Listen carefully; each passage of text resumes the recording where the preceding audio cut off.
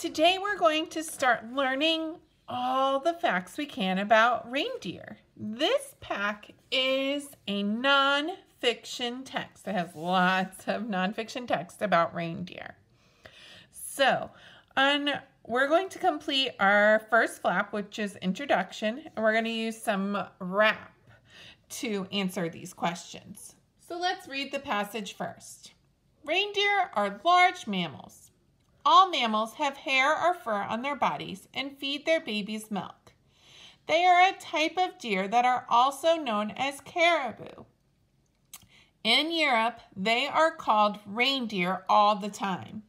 In North America, they are called caribou in the wild, and when domesticated or kept as pets, they're called reindeer. So, now that we've read that, let's look at our first question. Our first question says, what makes a reindeer a mammal? Now, if we're looking back in the text, can we find the text that says um, why reindeer are a mammal?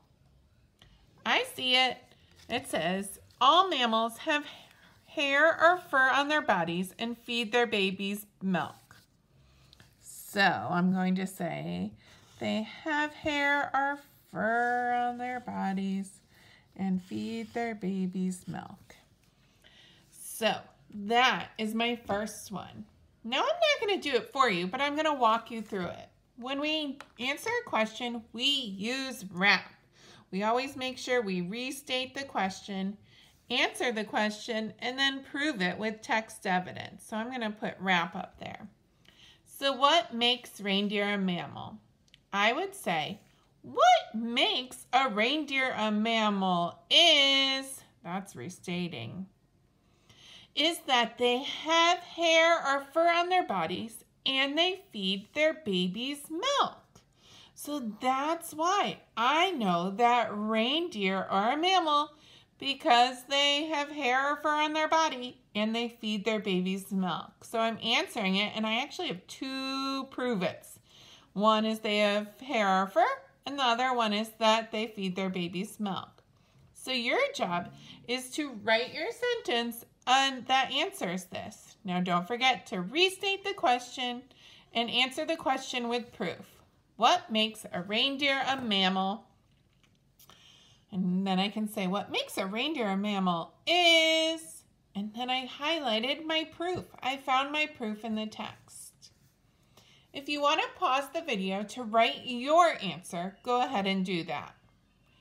Let's move on to question number two.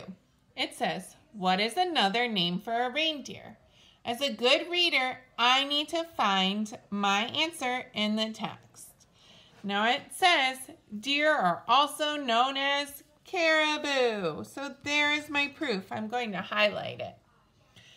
So what is another name for reindeer? I'm going to put wrap. I'm going to put it over here for space issues.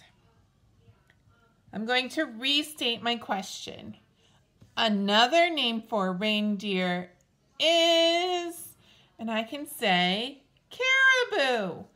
If I have more space, I can talk about how in Europe they're always called reindeer. In America, it depends if they're wild or not. But I'm definitely going to restate my question and answer my question. And we always have to highlight our evidence too. So again, what is another name for reindeer? When I restate the question, I say another name for reindeer is, and then I list my proof. Now, we have two P's for proof in rap. Sometimes the text just doesn't have all that proof, and that's okay we can try our best.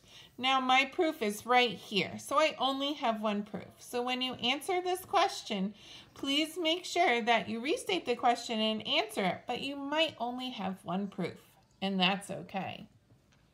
Thanks so much.